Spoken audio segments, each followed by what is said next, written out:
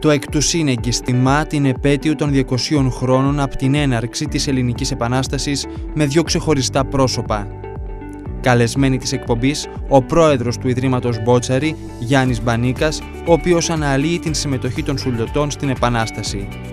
Ακόμη, ο Νίκος Κορδώσης μιλά για την ηρωική έξοδο του Μεσολογγίου και τα μηνύματα που εκπέμπει παγκοσμίως, αλλά και για το Μουσείο Άλατος. Εκ του σύνεγγυς, Τρίτη 23 Μαρτίου στις 10 το βράδυ, ζωντανά από το Ionian και το ναυπακτιanews.gr.